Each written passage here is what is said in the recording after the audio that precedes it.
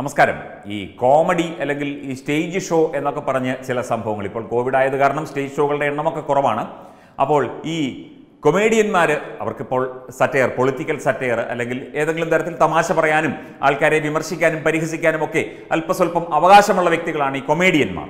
അവർ പരിഹസിക്കുകയും എന്ത് പറയുക ദ്വയാർത്ഥം വെച്ച് സംസാരിക്കുകയും ഒക്കെ ചെയ്യുന്നത് നമ്മൾ പലപ്പോഴും കേട്ടിട്ടുണ്ട്. അതൊക്കെ ഹാസ്യാത്മകമായി തന്നെ നമ്മൾ കരുതാറുള്ളൂ. പക്ഷേ മതവികാരങ്ങളെ വ്രണപ്പെടുത്തുകയും ഒരു വിശ്വാസത്തിന്റെ ഭാഗമായുള്ള ഈശ്വര ബിംബങ്ങളെ പരിഹസിക്കുകയും പുച്ഛിക്കുകയും ചെയ്യുന്നത് കോമഡിയായിട്ട് കാണാൻ അല്പം പ്രയാസമുണ്ട്. അതെങ്ങനെ കോമഡിയാകും എന്ന് മനസ്സിലാകുന്നില്ല. അത് ഇപ്പോൾ ആവിഷ്കാര സ്വാതന്ത്ര്യവും അതും ഇതുമൊക്കെ പറയുമെങ്കിലും ഇവിടെ കേരളവർമ്മ കോളേജിൽ ചിത്രം വരയ്ക്കുകയും ദേവീദേവന്മാരുടെ നഗ്നചിത്രങ്ങൾ വരച്ച് പരിഹസിക്കുകയും പുച്ഛിക്കുകയും മതവികാരം വ്രണപ്പെടുത്തുകയും ഒക്കെ ചെയ്തതിന് ചെയ്തതിനെ ആവിഷ്കാര സ്വാതന്ത്ര്യം എന്ന് പറയുമെങ്കിലും ഇത് ഈ കൊമേഡിയന്മാർ ഇങ്ങനെ ചെയ്തു കഴിഞ്ഞാൽ ഇതിനെയൊക്കെ ആവിഷ്കാര സ്വാതന്ത്ര്യം എന്ന് പറയുന്നത് എങ്ങനെയാണ്? നേരത്തെ പറഞ്ഞ ആവിഷ്കാര സ്വാതന്ത്ര്യം ഹിന്ദുമത വിശ്വാസങ്ങൾക്കും ഹിന്ദു ഈശ്വരന്മാർക്കുമെതിരെ മാത്രമേ ഉള്ളൂ കേട്ടോ. മറ്റ് മതസ്ഥരായ ആളുകളെയൊക്കെ എന്തായാലും ഇത്തരത്തിൽ ചെയ്യും എന്ന് തോന്നുന്നില്ല ഇവിടെ. കേരളവർമ്മ കോളേജിലെ അല്ല ഏത് നാട്ടിലെ എസ് എഫ് ഐക്കാരായാലും വേറെ ഏത് പാർട്ടിക്കാരായാലും അങ്ങനെയൊന്നും ചെയ്യും എന്ന് തോന്നുന്നില്ല. കാരണം അവർ വിവരമറിയും എന്നുള്ളതാണ് വാസ്തവം. പർദ എന്ന ഒരു കവിത എഴുതിയിട്ട് അത് പിൻവലിക്കേണ്ടി വന്ന നമ്മുടെ പവിത്രൻ തീക്കുനി എന്ന കവിയെ ഓർക്കുന്നു. മീശ എന്ന നോവൽ എഴുതി ഹിന്ദു ആചാരങ്ങളെയും വിശ്വാസങ്ങളെയും പരിഹസിക്കുകയും മോശമായി ചിത്രീകരിക്കുകയും ചെയ്ത എസ് ഹരീഷിനെ പൂവിട്ട് പൂജിച്ചതുമൊക്കെ നമ്മൾ കണ്ടതാണ്. എന്തായാലും ആവിഷ്കാര സ്വാതന്ത്ര്യം ഹിന്ദുവിന്റെ നെഞ്ചത്ത് മാത്രമേ കയറി കളിക്കുകയുള്ളൂ. ഇതും അങ്ങനെ തന്നെയാണ്. ഒരു കൊമേഡിയൻ അയാൾ പറയുന്നത് എല്ലാം ഹിന്ദു വിരുദ്ധതയാണ്. ഹിന്ദു ഈശ്വര സങ്കല്പങ്ങൾക്ക് എതിരായിട്ടാണ്. അവരെയൊക്കെ തന്നെ പുച്ഛിച്ചുകൊണ്ടാണ് ഇയാളുടെ സംസാരം. വടക്കേന്ത്യയിൽ നടന്ന ഒരു സംഭവമാണ്. അതിപ്പോൾ ദേശീയ മാധ്യമങ്ങളൊക്കെ ചില മാധ്യമങ്ങൾ വലിയ കാര്യമായി എടുത്തിട്ടുണ്ട്. പക്ഷേ പലരും ഇതിനെ മറച്ചു പിടിക്കാനാണ് ശ്രമിക്കുന്നത്. മാത്രമല്ല ഇയാൾ ഇതിനു മുൻപും പലതരത്തിൽ ഇത്തരത്തിലുള്ള കാര്യങ്ങളും സംവാദങ്ങളും ഒക്കെ നടത്തി ശ്രദ്ധയാർജിച്ച വ്യക്തി കൂടിയാണ് ഈ വ്യക്തി. വിമർശനാത്മകമായ രീതിയിലുള്ള ഒരുപാട് സംഭാഷണങ്ങൾ നടത്തിയ വ്യക്തിയാണ് ഇയാൾ.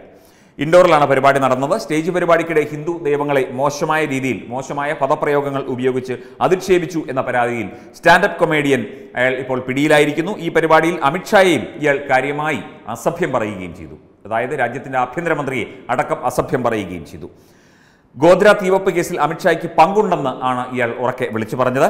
പരിപാടി കാണാൻ പോയിരുന്ന B J P M L എയുടെ മകന്റെ പരാതിയെ തുടർന്ന് ഗുജറാത്ത് സ്വദേശിയായ മുനവർ ഫറൂഖി എന്ന സ്റ്റാൻഡപ്പ് കൊമേഡിയനെയും മറ്റ് ഇയാളുടെ നാല് സഹപ്രവർത്തകരെയുമാണ് ഇപ്പോൾ മധ്യപ്രദേശ് പോലീസ് അറസ്റ്റ് ചെയ്തിരിക്കുന്നത്. ഇൻഡോറിലെ പുതുവത്സര പരിപാടിക്ക് ശേഷമായിരുന്നു അറസ്റ്റ്.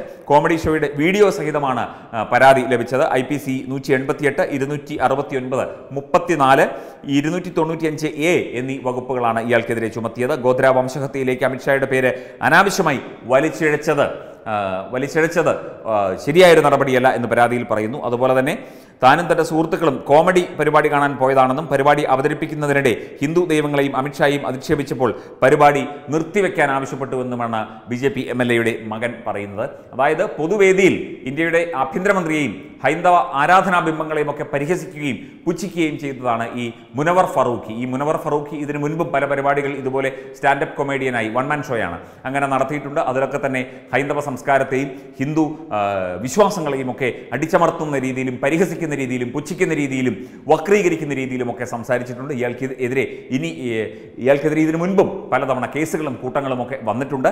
എന്നിട്ടും വീണ്ടും സധൈര്യം പോയി നിന്ന് അമിത്ഷാ ഗോദ്ര സംഭവത്തിൽ പങ്കാളിയാണ് എന്ന് പറയുകയും അതുപോലെ ഹിന്ദു ആരാധനാക്രമത്തെയൊക്കെ പുച്ഛിച്ച് സംസാരിക്കുകയും ചെയ്തു. ഇതിവിടെ ഹൈന്ദവ സംസ്കാരത്തിന് നേരെയുള്ള ഒരു വെല്ലുവിളിയുടെ ഭാഗമായിട്ടാണ് ഇത്തരം പരിപാടികൾ നടത്തുന്നവന്മാർ ഇങ്ങനെ ഇറങ്ങി നടക്കുന്നത്. ശക്തമായ നടപടി ഉണ്ടാകണം ഈ വിഷയത്തിൽ. ഇത് കരുതിക്കൂട്ടിയുള്ള ഒരു ചെയ്ത്താണ്. കരുതിക്കൂട്ടി മനഃപൂർവം പൊതുവേദികളിൽ ഇത്തരത്തിൽ ഹൈന്ദവ സംസ്കാരത്തെയും ഭാരതത്തെ തന്നെയും അവഹേളിക്കുന്ന ഭാരതത്തിലെ ഭരണകർത്താക്കളെ മോശമായി ചിത്രീകരിക്കുന്ന ഈ രീതി ഉടനടി ഇതിനൊക്കെ ശക്തമായ നിയമം കൊണ്ടുവരണം ഇങ്ങനത്തെവന്മാരെയൊക്കെ ആജീവനാന്തം പിടിച്ച് അകത്തിടണം. ഇതൊക്കെ ഒരു വർഗീയതയുടെ അല്ലെങ്കിൽ മനഃപൂർവം സൃഷ്ടിക്കുന്ന ഒരു മതഭീകരതയുടെ മുഖങ്ങളായി മാത്രമേ ഇത് പൊതുസമൂഹത്തിന് കാണാൻ സാധിക്കുകയുള്ളൂ. ഇതൊക്കെ ഉടനടി നിർത്തലാക്കേണ്ടതാണ്. ഇത് ഹിന്ദുവിന്റെ നെഞ്ചത്ത് കയറി എന്ത് പകിടയും കളിക്കാം എന്ന രീതിയിലേക്ക് കാര്യങ്ങൾ എത്തിക്കൊണ്ടിരിക്കുകയാണ്. അതും ഒരു ഹൈന്ദവ സംസ്കാരം പുലരുന്ന ഭാരതത്തിൽ. ഇതെന്ത് നടപടിയാണെന്ന് മനസ്സിലാകുന്നില്ല. തീർച്ചയായും ഇവർക്കെതിരെയൊക്കെ ശക്തമായ അന്വേഷണവും നടപടിയുമൊക്കെ ഉണ്ടാകണം എന്നാണ് നമുക്ക് പറയാനുള്ളത്. വെബ് ഡെസ്ക് തത്തുമൈ ന്യൂസ്.